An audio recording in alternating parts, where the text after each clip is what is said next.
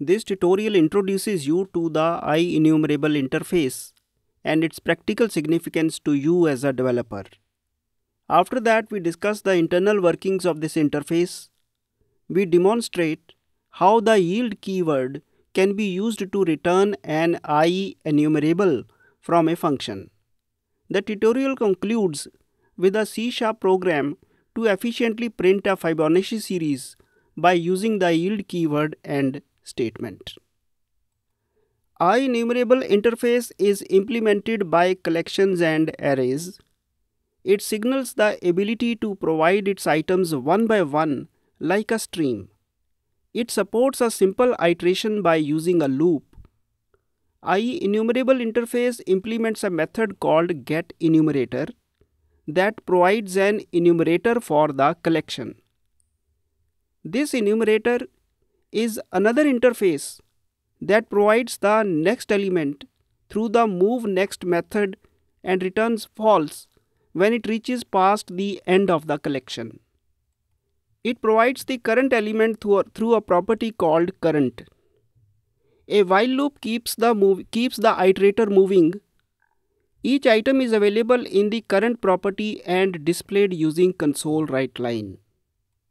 This code is a roundabout way of looping through the elements, but things are not that difficult in real practice. A for each loop simplifies this iteration.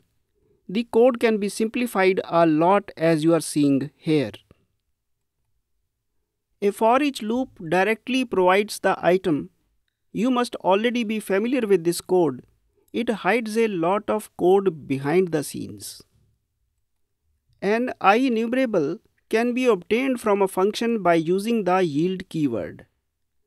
Suppose we have to provide integers from a function as shown here. This function returns an IEnumerable. But there are multiple yield statements each of which returns an int. So this code might be confusing at first.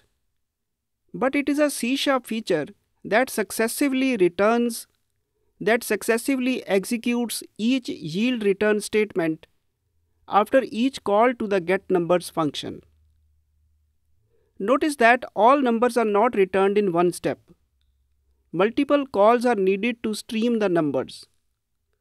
This technique makes optimal use of both the processor and memory. Let me explain how the steps take place. Execution proceeds till the first yield statement. The data is returned to the caller and execution is suspended. The execution resumes at the next yield statement when the next iteration takes place. When the next call takes place. This sequence of suspend, resume siphons out the numbers step by step and thus it optimizes the use of processor and memory. A for each loop has been used to obtain the numbers one by one. The series is step by step printed on the console. The yield statement can be used to write a very readable program for printing a Fibonacci series. Let us write a program to print the first 20 Fibonacci numbers. We have to write a function that returns an IEnumerable of int numbers. And uh, we have two variables first and second to hold consecutive numbers. A for loop is then required to return 20 numbers one by one. The sum of the first and second number is done first. After that, the values of uh, first and second are shifted as per the Fibonacci series. And finally, the yield return statement returns the Fibonacci number. And this keeps on going till the for loop runs. Notice that the yield keyword makes the whole process readable, intuitive, and memory efficient at the same time.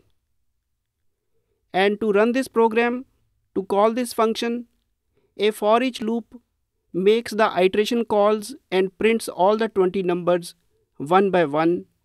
Thank you.